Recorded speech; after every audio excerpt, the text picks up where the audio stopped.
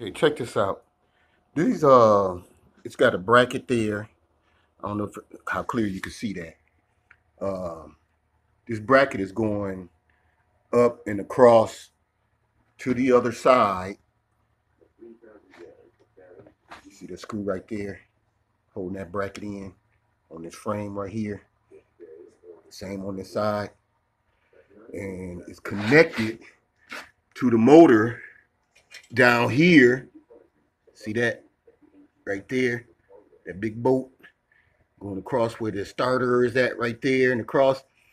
The motor is basically hooked to that. I see another where a screw would be right there. So it's really not in there.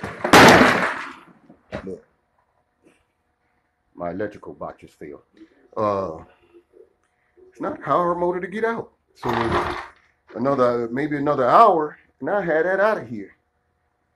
Take all this stuff out to the garage shop, and uh, I'm gonna instantly take some pictures, and I'm gonna put it online right away, even though I ain't got all the information.